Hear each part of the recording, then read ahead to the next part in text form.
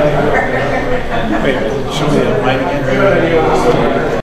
to tell you a little bit about ourselves. Uh, Rochester Tea Party Patriots are a nonpartisan organization. We believe in limited government, fiscal responsibility, and free markets. John has been involved in local politics in Minnesota since 2010, branching out into federal and presidential races with a focus on campaign strategy, messaging, and community outreach. He currently serves as a grassroots field director for ProtectMyVote.com. Please help me welcome John Rouleau. I know that you've heard about uh, voter ID, but maybe you haven't heard about why it's so important and all of the voter fraud that does occur in the state of Minnesota.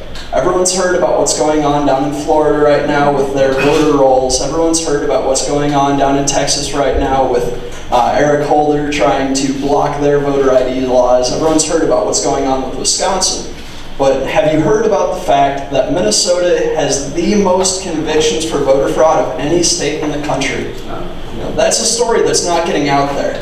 People are talking about how there isn't voter fraud in the state of Minnesota. That is absolutely false. In fact, we have the most uh, convictions. So in 2008, we can go back and we can look, but that's where most of those convictions have come from recently. Uh, Minnesota Majority, which is a group that uh, was founded, then worked on uh, voter uh, election integrity, and has now decided to work on the voter ID amendment and form the ballot committee. Uh, that's endorsed by the author, Mary Kiffmeyer. We had uh, one of the co-authors in the Senate working at our booth at the Ramsey County Fair last weekend. So they decided to do that. Well, they went through all of the voter records and they found out that over a thousand confirmed people who did not have the right to vote in the state of Minnesota had voted. Out of that came over 200 convictions. In the state of Minnesota, though, you might wonder why, if we have a thousand confirmed cases, we only have 200 convictions or so.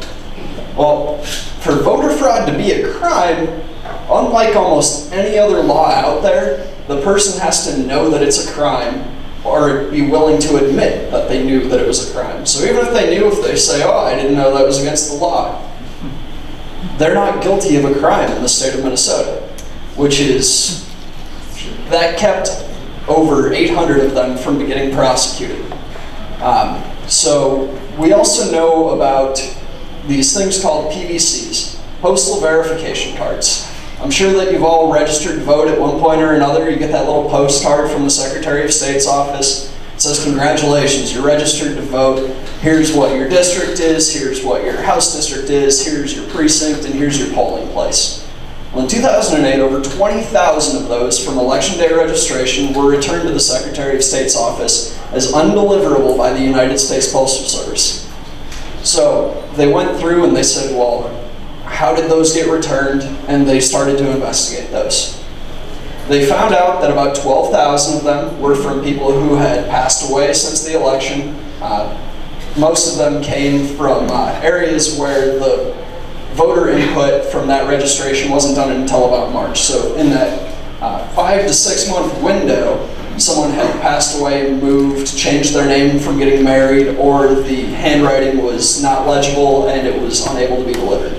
So they confirmed uh, about 12,000 of those. But over 7,000 to this day remain undeliverable and unverified. So what happens then is they're marked as challenged in the next election. But if they go, so if they go back in to vote, they'll have to present uh, their utility bill or something along those lines and verify that they do live there. But that doesn't do anything about the vote that was already cast. We didn't find out about this until March after the election. So there's a potential for that many cases of voter fraud, which brings us up to over 8,000. I don't know about you guys, but do you remember how many votes that statewide election for Senate was held to? It was under 300 votes. Yes, it was. We had statewide races that were decided by as little as 18 votes.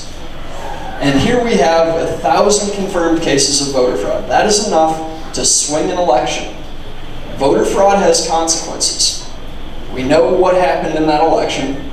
We know how many votes it took to pass Obamacare. We know how many votes it took to confirm Elena Kagan as a justice, and we know who held the closing, uh, who closed the confirmation hearing. That all came from, potentially came from that voter fraud. There was a big swing there, and polling shows that that's likely. That's a consequence. Well, right now we're out around the state. We're coming out, we're talking to folks like you, we're hosting events like this. We're hosting events in people's homes, we're working at fairs, we're walking in parades. We're trying to get the message out. So, what we're here to do tonight is ask you for your help. Help comes in a lot of different ways. Help can come from forwarding along an email that you've subscribed to get from us to your non political friends who haven't subscribed yet. Help can come in the form of uh, walking in a parade and holding one of our signs. It can come in the form of coming to volunteer when we're down here at your county fair next week.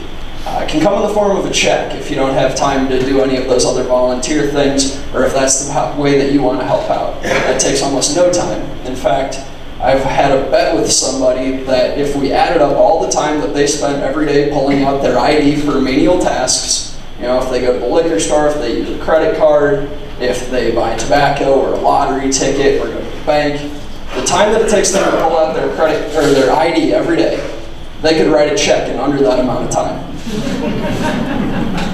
so that's what we're here to do. Uh, we're here to talk to you about that. Uh, you know, this issue it's very important, and I'm going to talk to you a little bit more about consequences. I'm sure that you've all heard that we have very high levels of support right now. Uh, one of the numbers that floats around is 80% support. That's the highest that we've ever polled at, uh, and that was last spring. What we probably haven't been told by anybody is that there are 88 special interest groups out there that oppose this, including some of the usual suspects. You've got uh, the League of Women Voters, who filed a lawsuit to try and block it and try and suppress the vote of Minnesotans to actually have the right to vote on something that was passed through the legislature legally. They are out there campaigning against it. Then you've got Take Action Minnesota, Alliance for a Better Minnesota is campaigning against it and contributing. Um, then you've got all of the unions who have lined up to contribute. And then you've got some that you might not expect. You've got the AARP, who wrote a check for $50,000 out of their membership dues. Anybody in here a member of AARP? Didn't think so. They used $50,000 of their members of their members' membership fees. You know, if you've got friends who are out there, let them know that these things are going on. Go in, you can look at the campaign finance reports and you can take a look at ours and you can see where our money comes from. It's from Minnesotans. Because Minnesotans understand this, Minnesotans understand that they go out and they show their ID every day, and they'd be happy to show it to vote and get election integrity. And you can go and look at theirs. Special interest group after special interest group after special interest group, all of them using membership fees. So we know what Minnesotans want, but we also know that there's those 88 special interest groups. There's also Secretary of State Ritchie, who uh, changed the title. You're going to hear a little bit more about that later. Um, there was a lawsuit filed today, actually, in order to block him from doing so because he does not have the authority under the Minnesota Constitution to change the title. Um, and then you've got uh, Lori Swanson, Attorney General. She's out there campaigning against it. And then you've got the DFL who endorsed the counter group uh, opposing voter ID. This is a nonpartisan issue. Conservatives, Democrats, independents, they support it. I've got the polls to back it up. We've gone through and we've talked to them. But the DFL seems to have forgotten that, and they sided with special interest groups, and they decided to not support what Minnesota wants. So, we're working to get out there because those 88 special interest groups have pledged to spend $40 million nationwide defending or defeating ballot questions like this one and trying to block uh, legislation in other states that requires voter identification. Well, we're the only state right now that has a voter ID ballot question. We know that a lion's share of that money is coming here. We've done the polls, I've seen them, I've sat in on the focus groups. What we know is that Minnesotans don't buy their message the first time. They don't buy into the fear tactics. But if you get it out in front of them enough times, if they can start to buy their way into running ads all the time, if they start to spend some of that $40 million that they've pledged, then it starts to resonate with people. And it especially resonates if we don't get out there and start talking to people about the facts. Some of their myths are that the elderly will never be able to vote again, that it eliminates same-day registration, that the military won't be able to vote. They have the idea that somehow people, uh, it disenfranchises the poor is their message. I don't know about you, but I have never met anyone who is too poor to get something that is free. I'm still trying to figure that one out. So we know that they're not telling the truth. We know that these are myths. We know that we have the evidence to back it up. We know that people in the military, their votes are taken care of by the federal government. That was established under the MOVE Act of 2007, I believe it was. But that's handled by the federal government. Minnesota law won't change their ability to vote. They can go out and they can still cast their absentee ballots. Absentee ballots currently have a little section right on them where you put your Minnesota ID number in there. There's a little box that you can check I don't have an ID, but your identity was verified. What this campaign is about is about holding all Minnesotans to the same standard. If you go out and you register to vote, you need your social security number, or you, and you go and get a driver's license or an ID. There's a verification process that exists. And then you can go in and you can use same-day registration, where you use a utility bill to verify your identity. And then there's the vouching system.